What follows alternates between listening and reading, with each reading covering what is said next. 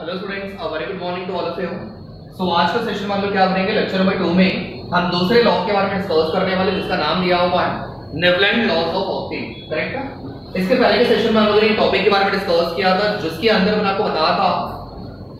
डोवेनस triad क्या होता है, उसके लॉ के बारे में हमने डिस्कस किया, और वो चीज़ फेल क्यों हुई, उसके बारे में भी हम लोगों ने डिस्कस किया था। राइट सो आज हम डिस्कस करने जा रहे हैं सेकंड लॉ के बारे में, जिसके अंदर कौन से साइंटिस्ट इन्वॉल्व थे?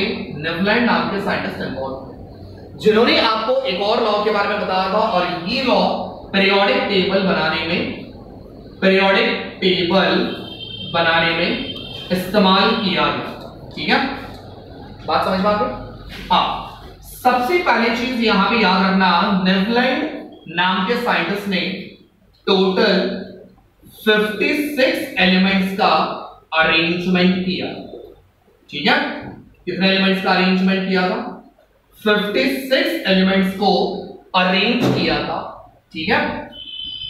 सॉरी 56 एलिमेंट्स आपके डिस्कवर्ड हुए थे, ठीक है? जब आपके इस लॉ के बारे में जो बताया गया था, तब उस वक्त टोटल 56 एलिमेंट्स आपके डिस्कवर हो चुके ठीक है जिसमें से आपका नेवलैंड नाम के साइंटिस्ट ने 20 एलिमेंट्स को प्रॉपरली अरेंज कर पाए थे कितने एलिमेंट्स को? 20 एलिमेंट्स को प्रॉपरली अरेंज कर पाए थे ठीक है? अब इसकी कहानी क्या है, उसके बारे में हम लोग समझने की कोशिश करेंगे। ठीक है? मैंने आपको बता दें टोटल 118 एलिमेंट आज तक डिस्कवर हुए लेकिन उस टाइम पे आपके 56 एलिमेंट्स आपके डिस्कवर हुए और उसमें से 20 एलिमेंट्स को नेवलैंड नाम के साइंटिस्ट ने उनके लॉ के अकॉर्डिंग अरेंज किया। अब इन्होंने क्या सोचा? नेवलैंड नाम के साइंटिस्ट ने क्या सोचा? तो इसके बारे में समझने की कोशिश इन्होंने आपके जो एलिमेंट्स को अरेंज किया था that was according to the atomic masses of the element इन्होंने क्या कंसीडर किया? हर एक एलिमेंट के एटॉमिक मास को कंसीडर किया। और उसी इंक्रीजिंग ऑर्डर में, कौन से ऑर्डर में? इंक्रीजिंग ऑर्डर में उसको अरेंज करते हैं। ठीक है? इंक्रीजिंग ऑर्डर में उसको अरेंज करते हैं। शुरुआत की उन्होंने सबसे पहला एलिमेंट जो था लाइटेस्ट एलिमेंट जो था हाइड्रोजन यहाँ से शुरुआत की। और अरेंज करते करते करते करते उन्होंने कहाँ तक पहुँच गए? थोरियम तक पहुँच गए। कहाँ तक पहुँच गए बेटा? थोरियम तक पहुँच ठीक है? तो वापस एक बार बता रहा हूँ नाम के साइंटिस्ट ने 56 एलिमेंट्स डिस्कवर ऑलरेडी हो चुके थे। जिसमें से 20 एलिमेंट्स को उन्होंने प्रॉपरली अरेंज किया था। कौन से लॉ के बेसिस पे? न्यूलैंड लॉ ऑफ़ ऑक्टेव्स के बेसिस ठीक है? अब इनका प्रॉपर्टी क्या था? इन्होंने क्या सोच के अरेंज किया? तो इन्होंने सारे एलिमेंट की एटॉमिक मासेस को इंक्रीजिंग ऑर्डर में अरेंज करते चले गए।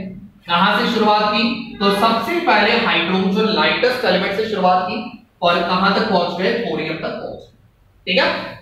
अब जैसे ही इन्होंने अरेंज किया अरेंज करने के बाद उनको एक सीक्वेंस मिला। क्या मिला बेटा? एक सीक्वेंस उन्होंने ऑब्ज़र्व किया। सीक्वेंस ये था, ठीक है?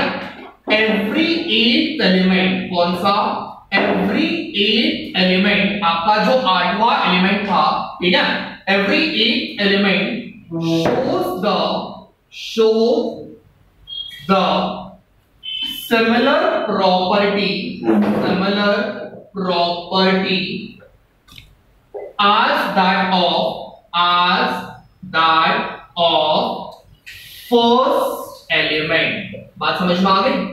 तो इन्होंने जो हाइड्रोजन से लेके थोरियम तक जब ये अरेंज करते गए तो उन्होंने पैटर्न वहाँ पे ऑब्ज़र्व किया। द पैटर्न वाज हर एक आपका आठवां एलिमेंट जो रहेगा every eight element shows the similar property कौन से एलिमेंट के? फ़र्स्ट एलिमेंट के बराबर। ठीक है? तो हर एक आठवां एलिमेंट फ़र्स्ट एलिमेंट को सिमिलर प्रॉपर्टी शो कर रहा था। जैसे उन्होंने एग्ज़ाम्पल के तौर पे कुछ बताया था एग्ज़ाम्पल के तौर पे लिथियम से जब आप शुरुआत करते हो करेक्ट है? लिथियम को अगर आप फ़र्स्ट एलिमेंट कंसिडर करते हो तो बेटा फ़र्स्ट एलिमेंट के बाद आठवां एलिमेंट यहाँ से कौन सा मिल रहा था? सोडियम मिल रहा था। ठीक है? बात समझ पा गए तो लिथियम आपका फ़र्स्ट एलिमेंट था तो सोडियम आपका कौन सा एलिमेंट बनेगा? एट एलिमेंट बनेगा। तो यहाँ भी इनको कुछ सिमिलैरिटीज मिली लिथियम की जो प्रॉपर्टी थी, वही आपकी सेम प्रॉपर्टी सोडियम के पास तो देखने को मिल रही है। करेक्ट उन्होंने और भी कुछ एग्जांपल्स दिए। जैसे कि, अगर आप शुरुआत करते हो मैग्नीशियम से अगर आप शुरुआत करते हो मैग्नीशियम से मैग्नीशियम को अगर आप फ़र्स्ट एलिमेंट कंसिडर करते हो तो बेटा फ़र्स्ट से लेके आठवां एलिमेंट कौन सा बनेगा? बेरिलियम बनेगा। ठीक है? तो beryllium has to be considered as the eighth element correct बात समझ पा रही तो यहाँ भी इन्होंने क्या ऑब्ज़र्व किया? मैग्नीशियम अगर फ़र्स्ट एलिमेंट है तो बेटा आठवां एलिमेंट कौन सा बनेगा? बेरिलियम बनेगा। और जो प्रॉपर्टी आपका बेरिलियम बता रहा है, वही सेम प्रॉपर्टी आपके मैग्नीशियम के पास को देखने को मिल रहा है correct so this was the law which has been given by Newton तो आपको लॉ याद रखना है। According to the Newland laws of optics इन्होंने क्या बोला?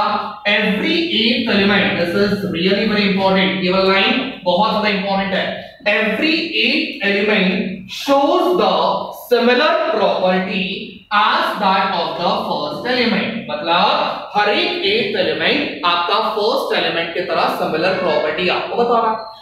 लेकिन ये तब तक हुआ जब तक आपके पास नए एलिमेंट डिस्कवर नहीं जब आपके न्यू एलिमेंट्स डिस्कवर हुए तो उसके बाद पता चला कि आपका ये लॉ फॉलो नहीं हो रहा है। और 56 एलिमेंट्स में से टोटल सिर्फ़ 20 एलिमेंट्स को प्रॉपरली अरेंज किया गया था और वो 20th एलिमेंट कौन सा था? That was nothing but your calcium बात समझ में आ गई? तो ये छोटे-छोटे पॉइंट्स आपको याद रखना है। 20th एलिमेंट कौन सा था? बिकॉज़ पेपर में कभी बार ऐसे क्वेश्चंस भी इंटरनल क्वेश्चंस भी आपको पूछे जाते हैं, ठीक है? तो वो कौन सा 20th एलिमेंट था? जहाँ तक आपका Newlands law of octave follow किया तो वो कौन सा एलिमेंट था? That was the calcium right so calcium was the 20th element जहाँ तक आपका Newland law of octave follow हुआ। फिर उसके बाद से सारे एलिमेंट्स के प्रॉपर्टीज़ डिफरेंट आने लगे मतलब हर एक एक एलिमेंट फ़र्स्ट एलिमेंट के सिमिलर प्रॉपर्टीज़ आपको मैच नहीं कर रहा था। तो जिसकी वजह से आपका Newland law of octave periodic table के रेस में से बाहर हुआ। समझा? इन्होंने एक और पॉइंट बताया था।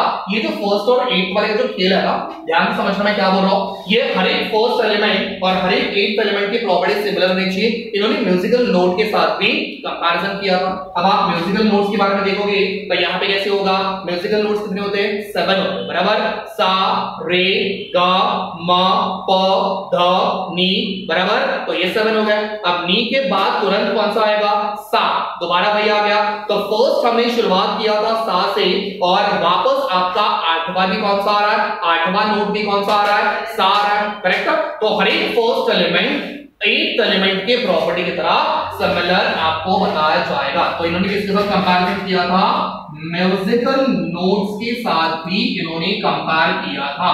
ठीक है? शुरुआत करोगे सा से, और इसके बाद आठवां जो नोट रहेगा, वो भी कौन सा रहेगा? सात होगा। ठीक है? तो ये बनेगा फ़र्स्ट एलिमेंट ये वाला बनेगा एट एलिमेंट तो एट एलिमेंट की प्रॉपर्टी फ़र्स्ट एलिमेंट की प्रॉपर्टी की तरह मैच होनी चाहिए। समझ में आ गई मेरी बात? So that was about the left अब ये तो लॉ फॉलो नहीं हुआ। बराबर? अब कहाँ तक फॉलो हुआ था? 20th एलिमेंट का। दैट इज़ कैल्शियम ठीक है? अब ये लॉ फेल होने के बाद नेवलैंड नाम के साइंटिस्ट ने क्या बोला था? 56 एलिमेंट्स आपके डिस्कवर हो चुके हैं। इसके बाद आपका एक भी एलिमेंट एक्स्ट्रा डिस्कवर होने वाला नहीं है। So this was the challenge which was given by Newland ठीक है? तो इन्होंने बोला था 56 एलिमेंट्स आपके डिस्कवर होंगे। 56 एलिमेंट्स के बाद अभी कोई भी डिस्कवर होने वाले नहीं है। अब मेंडलेव जब साइंटिस्ट आया तो मेंडलेव ने क्या क्या चीज़ें बोली? उन्होंने पीरियोडिक टेबल कैसे बनाया? उसके बारे में हम लोग नेक्स्ट वाले वीडियो सेशन में डिस्कस करेंगे, ठीक है? तो आपने क्या करना है? इस वाले टॉपिक के बारे में ध्यान से समझो। इसके बारे में जितने मैंने यहाँ पे पॉइंटर्स आपको दिया हुआ है, ये लॉ है हाँ? ये उसका लॉ है तो ये पॉइंटर्स में आप लोगों ने इंक्लूड करना है, ठीक है? तो मिलते हैं नेक्स्ट वाले लेक्चर में। Thank you so much stay tune for next